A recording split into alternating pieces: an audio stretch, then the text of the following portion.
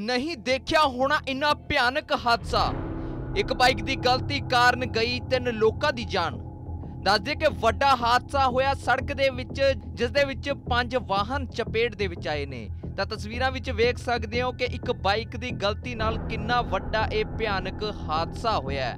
ਤਸਵੀਰਾਂ ਵਿੱਚ ਵੇਖ ਸਕਦੇ ਹੋ ਕਿਸ ਤਰੀਕੇ ਦੇ ਨਾਲ ਇਹ ਬਾਈਕ ਹੈ ਜਿਹੜੀ ਓਵਰਟੇਕ ਕਰਦੀ ਹੋਈ ਜਾ ਰਹੀ ਹੈ, ਜਿਸ ਦੀ ਸਪੀਡ ਵੀ ਬਹੁਤ ਤੇਜ਼ ਹੈ।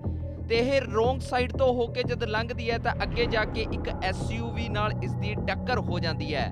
ਜਿਸ ਤੋਂ ਬਾਅਦ ਇਹ ਬਾਈਕ ਸਵਾਰ ਬੁਰੀ ਤਰੀਕੇ ਦੇ ਨਾਲ ਸੜਕ ਤੇ ਡਿੱਗਦਾ ਹੈ। ਜਿਸ ਤੋਂ ਬਾਅਦ ਐਸਯੂਵੀ ਕਾਰ ਵੀ ਆਪਣਾ ਸੰਤੁਲਨ ਖੋ ਦਿੰਦੀ ਹੈ ਤੇ ਆਪਣੇ ਅੱਗੇ ਜਾ ਰਹੇ ਪਹਿਲਾਂ ਤਾਂ ਆਟੋ ਨੂੰ ਟੱਕਰ ਮਾਰਦੀ ਹੈ ਅਤੇ ਫਿਰ ਟਰੈਕਟਰ ਨਾਲ ਟਕਰਾਉਂਦੀ ਹੈ ਅਤੇ ਬਾਅਦ ਦੇ ਵਿੱਚ ਇਹ ਇੱਕ ਬਾਈਕ ਨੂੰ ਟੱਕਰ ਮਾਰਦੀ ਹੈ, ਜੋ ਕਿ ਬੁਰੀ ਤਰੀਕੇ ਦੇ ਨਾਲ ਨੀਚੇ ਡਿੱਗਦਾ ਹੈ। ਜਿਸ ਤੋਂ ਬਾਅਦ ਆਟੋ ਵੀ ਸੰਤੁਲਨ ਖੋ ਕੇ ਰੋਡ ਤੋਂ ਨੀਚੇ ਉਤਰ ਜਾਂਦਾ ਹੈ ਤੇ ਇਸ ਪੂਰੇ ਹਾਦਸੇ ਦੇ ਵਿੱਚ ਤਿੰਨ ਲੋਕਾਂ ਦੀ ਮੌਤ ਹੋ ਗਈ ਹੈ। ਤੁਹਾਨੂੰ ਦੱਸ ਦਈਏ ਕਿ ਵੱਡਾ ਹਾਦਸਾ ਹੋਇਆ ਹੈ, ਜਿਸ ਦੇ ਵਿੱਚ ਤਿੰਨ ਲੋਕਾਂ ਦੀ ਜਾਨ ਚਲੀ ਗਈ ਹੈ ਤੇ 13 ਲੋਕ ਇਸ ਦੇ ਵਿੱਚ ਜ਼ਖਮੀ ਦੱਸੇ ਜਾ ਰਹੇ ਨੇ। ਤਾਂ ਸੜਕ ਦੇ ਵਿਚਕਾਰ ਇਹ ਵੱਡਾ ਹਾਦਸਾ ਹੋਇਆ, ਜਿਸ ਦੇ ਵਿੱਚ ਇੱਕ ਡਰਾਈਵਰ ਦੀ ਗਲਤੀ ਕਰਕੇ ਤਿੰਨ ਲੋਕਾਂ ਦੀ ਜਾਨ ਚਲੀ ਗਈ ਹੈ। ਜਦਕਿ 13 ਲੋਕ ਗੰਭੀਰ ਰੂਪ ਦੇ ਨਾਲ ਜ਼ਖਮੀ ਦੱਸੇ ਜਾ ਰਹੇ ਨੇ, ਜਿਨ੍ਹਾਂ ਨੂੰ ਨਜ਼ਦੀਕੀ ਹਸਪਤਾਲ ਦੇ ਵਿੱਚ ਇਲਾਜ ਦੇ ਲਈ ਭਰਤੀ ਕਰਵਾ ਦਿੱਤਾ ਗਿਆ ਹੈ।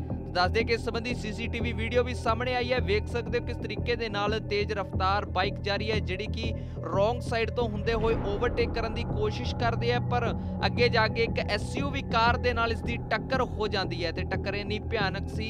ਪਹਿਲਾਂ ਤਾਂ ਬਾਈਕ ਸਵਾਰ ਨੀਚੇ ਬੁਰੀ ਤਰੀਕੇ ਨਾਲ ਡਿੱਗਦਾ ਹੈ ਤੇ ਐਸਯੂਵੀ ਕਾਰ ਵੀ ਆਪਣਾ ਸੰਤੁਲਨ ਖੋ ਦਿੰਦੀ ਹੈ ਤੇ ਅੱਗੇ ਜਾ ਕੇ ਦੋ ਤਿੰਨ ਵਾਹਨਾਂ ਨੂੰ ਟੱਕਰ ਮਾਰਦੀ ਹੈ, ਜਿਸ ਦੇ ਵਿੱਚ ਇੱਕ ਬਾਈਕ ਸਵਾਰ ਸਾਹਮਣੇ ਤੋਂ ਆ ਰਿਹਾ ਹੁੰਦਾ ਹੈ। ਜੋ ਕਿ ਬੁਰੀ ਤਰੀਕੇ ਦੇ ਨਾਲ ਨੀਚੇ ਡਿੱਗਦਾ ਤਾਂ ਇਹ ਤਸਵੀਰਾਂ ਅਸੀਂ ਤੁਹਾਨੂੰ ਨਹੀਂ ਦਿਖਾ ਸਕਦੇ।